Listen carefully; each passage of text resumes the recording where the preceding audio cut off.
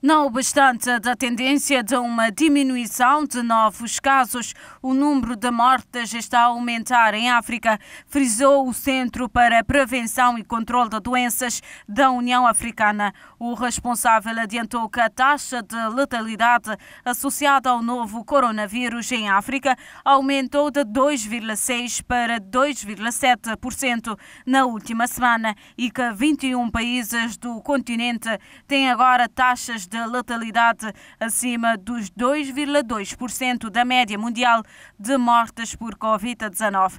Até ao momento, Cabo Verde não faz parte desta lista. Eh, a nossa taxa de letalidade global neste momento está em 0,96%, o que tem-se mantido naquilo que tem sido a taxa de letalidade ao longo da evolução da pandemia nos últimos tempos.